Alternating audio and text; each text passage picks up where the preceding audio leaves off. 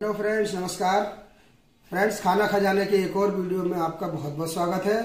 दोस्तों, आज हम आपके लिए लेकर आए हैं वेज स्टीम मोमो। सबसे पहले हमें ज़रूरत पड़ेगी 250 ग्राम मैदा ली है मैंने। तीन से चार जनों के लिए सफिशेंट है। 250 ग्राम मैदा ली है, जो कि मैंने सूखा भी मैंने 50 ग्राम करीब बचा ली है। उसके बाद मैंने सब्ज़ी ली है। सब्ज़ी में मैंने गाजर ली है फ्रांसबीन बंद गोभी, हरी प्याज, रेड प्याज और शिमला मिर्च।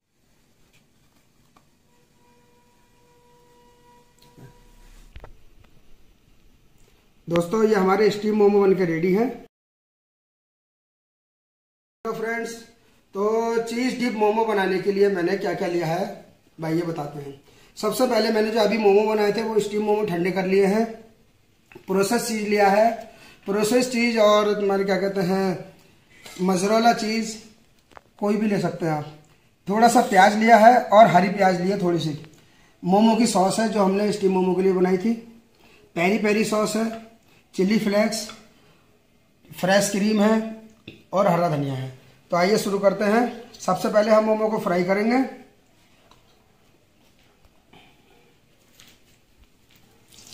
सबसे पहले हम फ्राई करते हैं मोमो को। इस दोस्तों, ये मोमो हमारे फ्राई हो चुके हैं।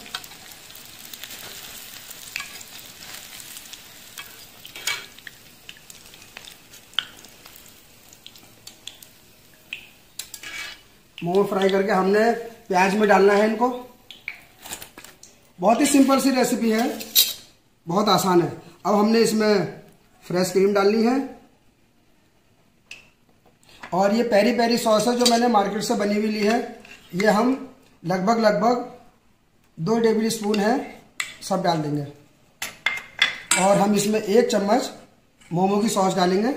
ये आप स्वाद अनुसार घटा बढ़ा सकते हैं। और थोड़ा सा हम इसमें हरा धनिया डालेंगे। और इसको हमने कुछ नहीं करना है मिक्स करना है।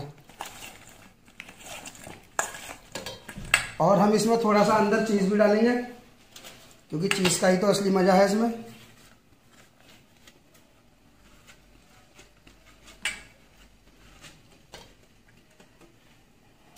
ये हमने डाल दिया इसमें ढेर सारा प्रोसेस चीज़ प्रोसेस चीज़ डालने के बाद हम इसको मिक्स करेंगे। और मिक्स करके हमने कुछ नहीं करना है दोस्तों। केवल हमने इसको प्लेट में सजा देना है बढ़िया करके।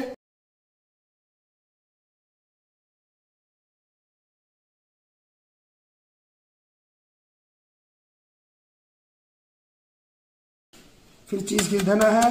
घिसने के बाद में हमने इसमें फिर थोड़ा सा हरा धनिया डालना है। और हमने इसमें डालने हैं चिल्ली फ्लेक चिल्ली फ्लेक्स अगर आपको मार्केट से नहीं मिल पा रहे हैं, आज आप हाथों हाथ इसको घर में रेडी कर सकते हैं। और इसको डालने के बाद अब हम इसको स्टीम होने के लिए मात्र तीन मिनट के लिए अपने स्टीमर में रख देंगे, जो मैंने पहले से इसमें पानी बॉईल किया हुआ है। स्टीमर मेरा रेडी है। और अब हम इसको तीन मिनट के लिए इसमें स्टीम करने के लिए रख दोस्तों, हमारा चीज़ डीप रेडी है। आइए इसको निकालते हैं। दोस्तों, देखिए, हमें ओवन की भी ज़रूरत नहीं पड़ी है। स्टीमर में कितना अच्छा बन के आया है। कलर कितना प्यारा है इसका। तो दोस्तों, ये हमारा रेडी हो गया चीज़ डीप मोमो।